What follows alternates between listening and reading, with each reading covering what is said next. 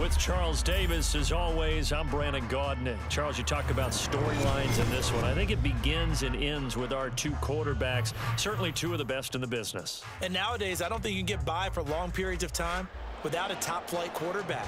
The way the game is played, with all the responsibility he has and how the game flows through him, if he's not on the top of his game, your team's not going to benefit at all. Ready for football now on a sunny Florida afternoon. And we are underway from Hard Rock Stadium. And he will make it back to the 15, and that's it. Good coverage there by the kick team. For most people, the excitement of a kickoff return is to see a long one that goes back in the opposite direction. But for the guys covering it, it's being able to stop them deep in their own territory. How about that incredible form tackle right there? Shoulder in the ball carrier, and down he goes. They'll run there for about six up across the 20 to the 22.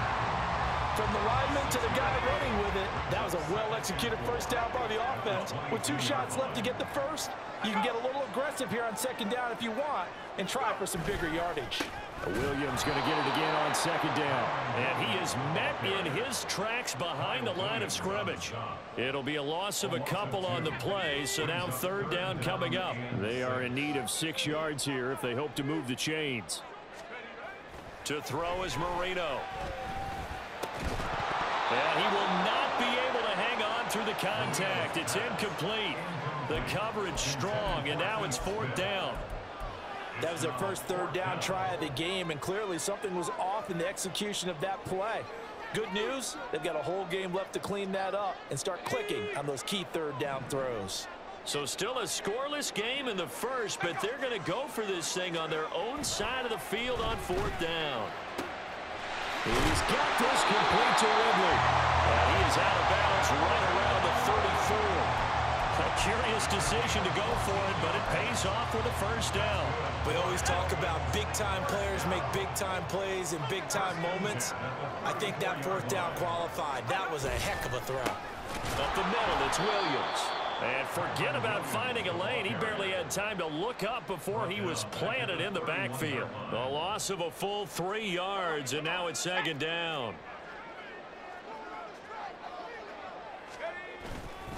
They'll stay on the ground with Williams.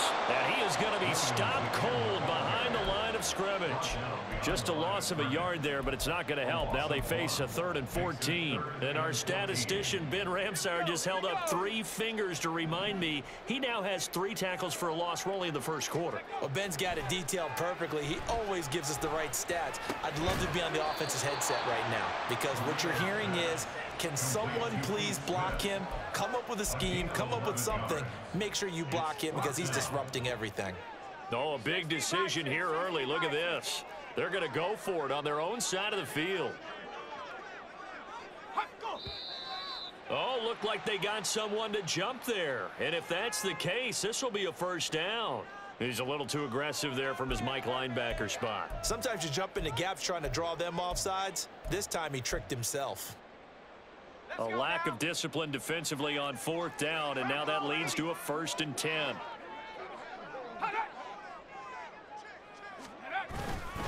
Following the penalty, it's Williams. He'll be taken down at the 48 for a pickup of two yards. What an advantage having a lead guy in the middle of the defensive line because not only does he take up the space and let the linebackers run free, but he can also make plays himself, as we just saw there. On second down, here's Marino. This one caught by Ridley. And he's going to have another first down as the tackle comes at the Raiders' 38-yard line.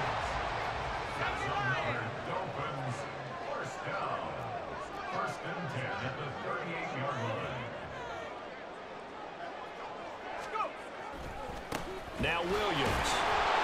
And he'll manage to pick up about four at second down. And that was a quality play to start a new set of downs. That was simply an offensive line winning the battle up front and winning in a big way and giving their guy in the backfield a nice lane to hit. And an excellent job of finding the opening as he's got this now all the way down to the 22. Give him 12 yards there, and the Dolphins have a first down. No score after one on EA Sports. Second quarter from Miami. It's the Dolphins with the football as they've got it with a first and 10. Let's go. Well, looks like they'll move things around here.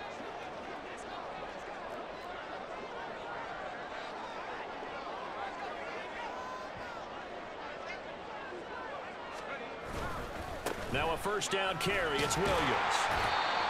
Give him five on the carry there, and it'll be second down. And when you get good yardage like that on first down, it really does a whole lot of good for your entire offense. But I love the way he's finishing those runs. At the end of things, he's making sure he gets just a little bit extra. Williams. And he's eaten up at the line of scrimmage. Might have gotten a yard down to the 16.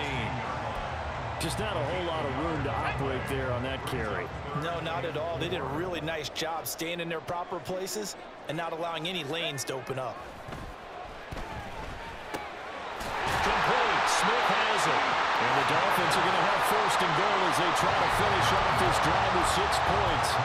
Well, let's be honest about the whole thing. When you're looking for a reliable set of hands on third down, the first thought is often not fullback. But that's who they turn to there, and he does a nice job of securing the football and picking up the first down. And he'll be stopped just outside the five at the six. It's a gain of a couple, and it'll be second and goal. All of a sudden, those lanes that were there earlier in the drive dry up near the goal line. That's a good job defensively to diagnose the run and stop it for a very short pickup. Now Marino. And that is incomplete. A lot of force bearing down on him there. He could not hang on. It's third down. Down near the goal line, things really get physical. You're always anticipating a running play, but when they do throw it, things happen quickly. A little bit of a bang-bang play there that falls incomplete. They'll look to throw on third and goal. And that is incomplete. Well, so a drive that spans all that time, and yet you may only come away with three points here. Well, your defense, all right, they actually like these long drives. They get to rest over on the sidelines for a while. But when you're not finishing with points in terms of touchdowns, that's frustrating. They've got to figure out how to close out these long drives and get sixes instead of threes. So an opening drive field goal maybe doesn't whip this crowd into a frenzy, but I think that they will take the early lead. There's no doubt about it. They will always take the early lead, and maybe that celebration comes later if they play well and they can break things open. But right now, this is all about letting the offense just get settled in.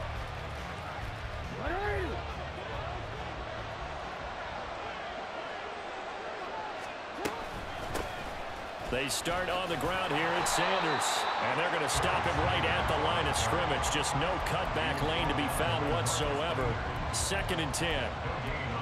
Looked like he was trying to bounce it outside, but no success. Yeah, sometimes you got to just figure out where you're going to go, and sometimes you just have to take it to another spot. And trying to get it outside, the defensive pursuit was there and just ran him down. Second quarter, two minutes remain, 3-0 our score. They had the run for no gain. Now they'll try again from the 25 on second and 10. Jackson. He'll check this down to Lynch, complete. And they're able to get this one across the 35. That penalty accepted, and they move the ball forward.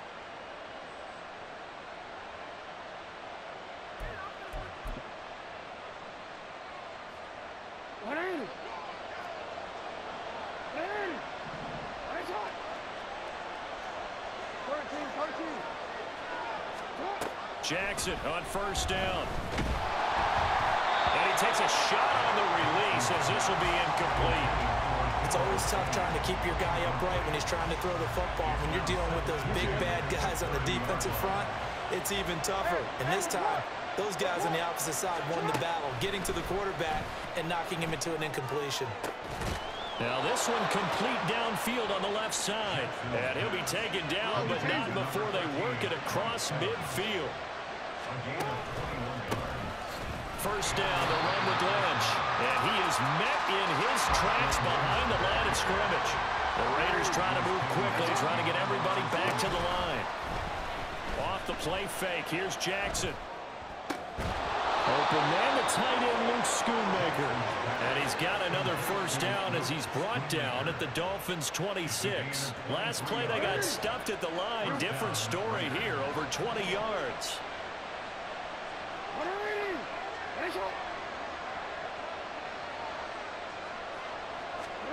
Throwing on first down, it's Jackson. Under pressure, and he will go down. Sacked back at the 38. It looks like a loss of right around 11 there on first down to set him back on second. On second down, Jackson. They'll set up the screen to McCaffrey. Raiders going to use one of their timeouts as they'll stop it with 17 seconds to go in this first half of action. And when you're throwing the ball downfield really well like they have been on this drive, it's really a nice time to work one of the screen plays in. One of my favorite play callers in the game has always told me he starts every game with 10 to 12 screens because if he starts feeling the pressure from the defense, he uses their aggressiveness against them. Now the throw on third down, knocked away. Is the field goal team here as the Raiders will try for three. From the left hash, this will be a 41-yarder. And the now 40-year-old veteran able to put this one through, and that will tie us at 3-3. So matching field goals on our opening two drives. Yeah, it feels like two boxers feeling each other out here in the early going of the game, right? Exchanging some jabs, but none of the heavy stuff just yet. And he will make it to the 20-yard line and no further.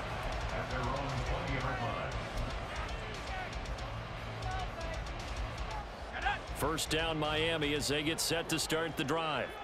And only six seconds on the clock, so time likely for just one play. An opening there on that first down run as he gets this forward for about eight or nine. That looks to be eight officially, so second and two. First half in the books. You're watching the NFL on EA Sports. Welcome back. Halftime over. We are ready for quarter number three. Alongside Charles Davis, I'm Brandon Gaudin.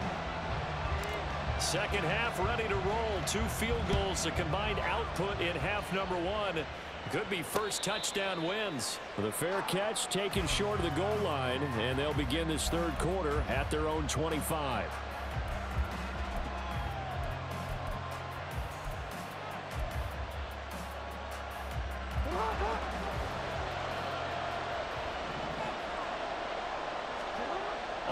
First and 10, it's Jackson. Blitz coming, and down he goes. And quickly, they get to the line.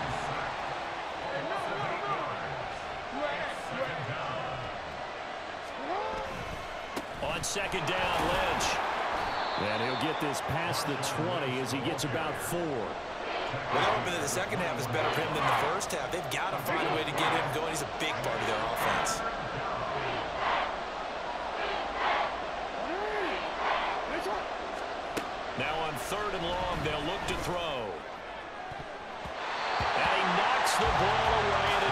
Incomplete.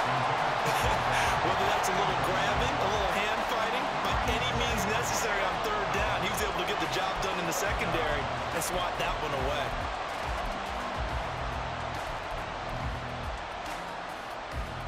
Here's Johnny Hekker now. And surprisingly, this is the first punt of the game for either team.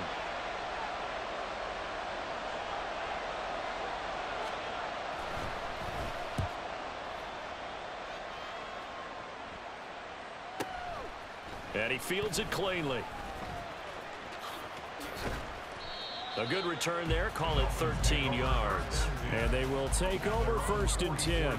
The Dolphins at the line ready for their next drive. Now this game, it has obviously been all about the defense on both sides of the football. Which offense is going to break through here? We'll see if they can do it on this drive. And nothing much materializing there on the first down run. He'll get a couple, and that's it. Well, any lane that might have been open there was closed pretty quickly, and that was because the defensive front, they won that battle at the point of attack at the line of scrimmage. They used great leverage, helped their spot, and stacked him up. Williams going to get it again on second down. And he'll be brought down at the 50 after a gain of about five. And there we saw one of the downsides of blitzing during a rundown because sometimes you get out of your gaps. You don't fit the run quite as well because you're headed towards the ball carrier with abandon. From midfield now, Marino. Able to find the open man. That's complete. And he is going to have the Dolphins first down as they're able to get the third down conversion. I don't care how many times we see it. I still get a kick out of watching quarterbacks and receivers do the pass tree in pregame warm-up. But I always remember that when we go to practices, we see that after practices as well. They really tune it up, don't they? They tune it up. They know why they do it for these situations. First down. And they build that trust, and that's why they're able to find him in this type of a situation.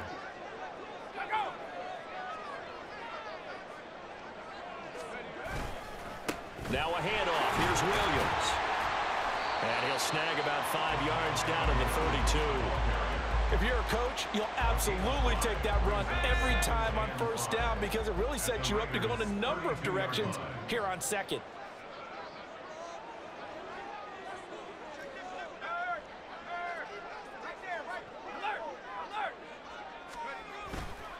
Williams going to get it again on second down. And he is going to be stopped cold behind the line of scrimmage. So third down now. They need the 27-yard line for a first. Now it's Marino. Well, he tries to force it in, and it's intercepted.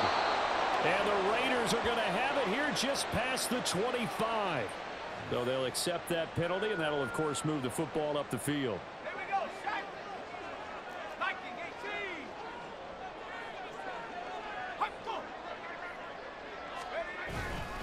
Now a man who's been busy this afternoon, it's Williams. And he can only manage to get a couple.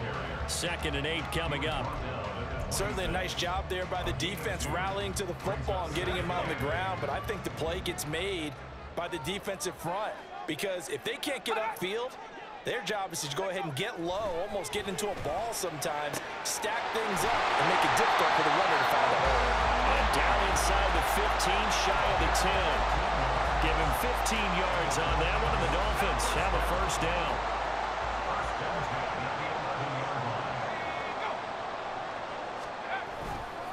On the ground, this is Williams. And here he'll get it down to the seven. Three quarters in the books.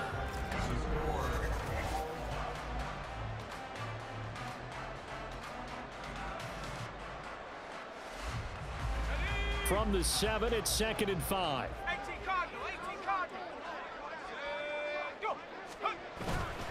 They run it again with Williams. And nothing doing. He's immediately taken down at the line of scrimmage. No gain on the play there, so they're left with a third down and six.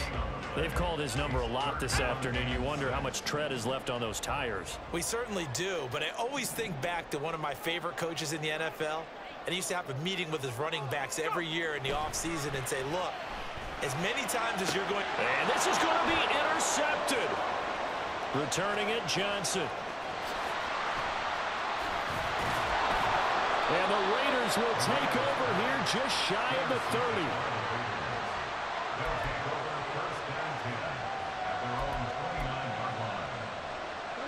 The Raider offense set to get this drive started. And the question, can they turn that interception into points? A tie game for the moment in the fourth quarter. And down right around the 32-yard line, four yards on the pickup.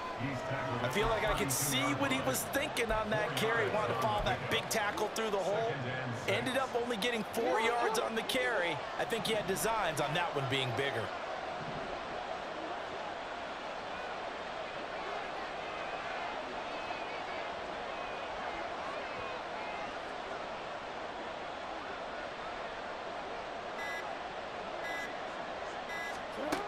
Now Jackson on second down. Now they set up the screen. That's complete. And he went nowhere. He'll lose yardage back to the 29. They'll wind up losing three here on the play. And that's going to set up a tough third and nine.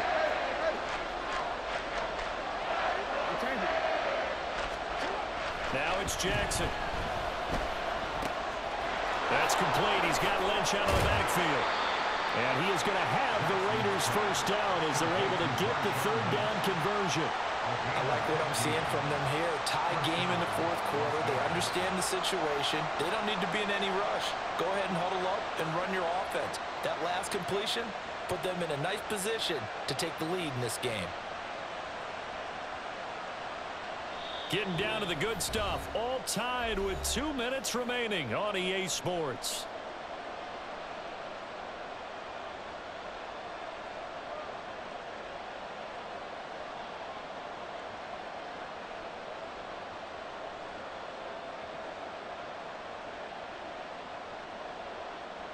Plenty of time. All three timeouts still remain. Here's first and 10 now. An inside run with Lynch. He'll get this up to the 47 and brought down there. This is what happens sometimes when you abandon the running game. It's hard to get back to it because once guys get out of that mentality of firing out and hitting people, hard to get them started again occasionally. Now the Dolphins going to burn the first of their timeouts as they'll talk things over prior to this upcoming second down play.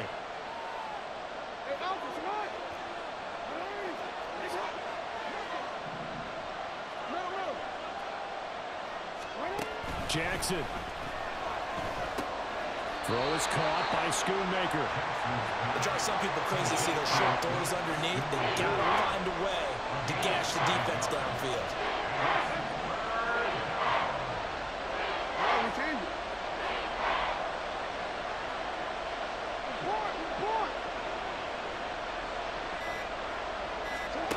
Jackson. Pass taken in by his big tight end. And he is going to have the Raiders first down as they're able to get the third down conversion. The Dolphins going to take their second timeout. And they'll be disappointed to have to burn one there after giving up the first down. Again to the big tight end, George Kittle. And the result here, a pickup of eight. Leaves them with two to go on second down. They come up now on second and two. Up the middle, it's Ledge. And that play going absolutely nowhere as he's belted before he could get out of the backfield.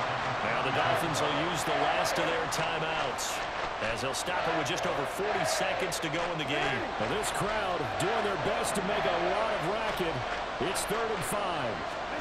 Now Jackson. And he's brought down short by a yard. It's a third down gain of four. First things first here, they got to pick up the first down. And remember, it is fourth down, so they've got to pick up a completion here. Otherwise, this one's over.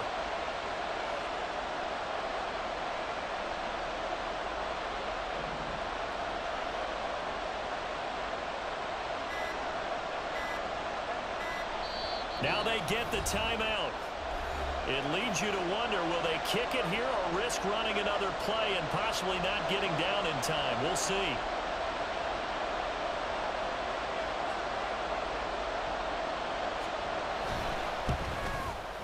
And the 10-year vet knocks it through the goalpost. And it's celebration time on that sideline as they have taken the lead in the final seconds. And I tell you, when it comes to needing a field goal in closing seconds, pressure situation, there's something to be said for having a veteran kicker trot out there. Agreed. It's so nice to have someone you can rely on, someone who you know has done it before.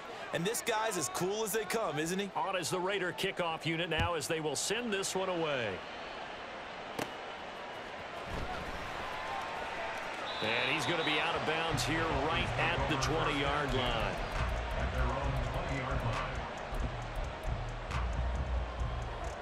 Here's first and 10.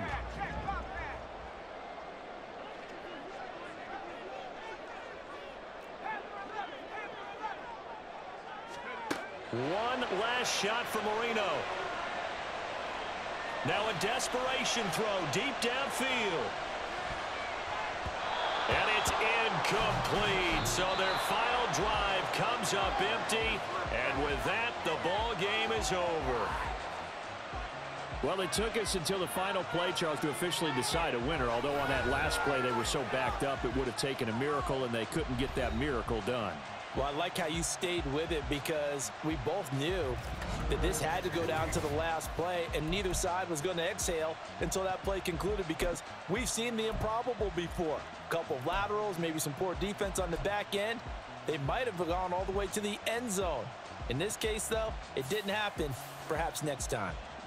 That'll do it for us. For Charles Davis and all our crew, I'm Brandon Gaudin. This has been Madden Ultimate Team on EA Sports. Join the discussion on Twitter at EA Sports underscore MUT. And with that, we sign off from Miami.